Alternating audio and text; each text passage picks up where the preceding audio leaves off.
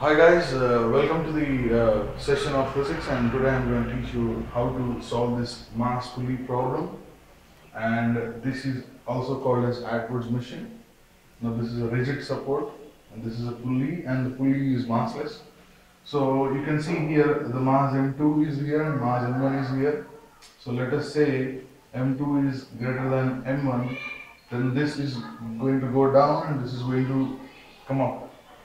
Now since these two are connected, I want to find out the acceleration of the system. Acceleration of the system in the sense, the acceleration of this m2 moving down is same as the acceleration of m1 moving up. But if there are no forces acting on this body, the gravitational forces in equilibrium when it is placed on horizontal table is uh, the g acting vertically downwards and due to that the weight of this M2 is acting vertically downwards and I can write it as M2G. M2G is acting vertically downwards and tension in the string is simultaneously uh, acting vertically upwards.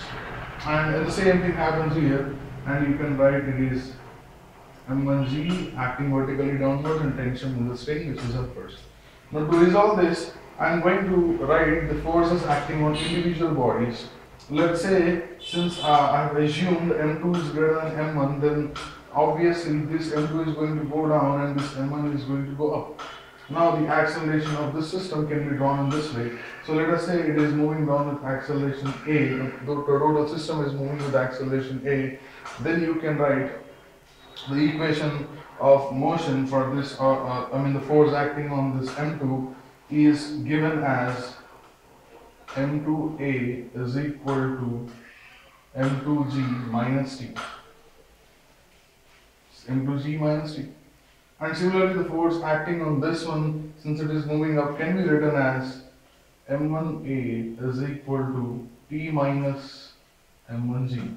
If you add up these two, t gets cancelled and you will be getting a is equal to m2 minus m1 by m2 plus m1 multiplied by. So this is the acceleration of the system. Now similarly the tension in the strings is equal to 2 m1 m2 by m1 plus m2 into g. You will get this by substituting this anywhere in this equation and you will get the tension in the string as 2 m1 m2 by m1 plus m2 into g. Let us take a problem and solve this let us say this is uh, 6 kg mass and this is 4 kg, then the acceleration with which it falls, the connection falls is 6 minus 4 by 6 plus 4 using this equation 6 minus 4 by 6 plus 4 into let us say the value of g is 10 then this will be 6 minus 4 2 by 10 into 10 then the system moves with acceleration 2 meter per second square downwards. This is a mass pulley system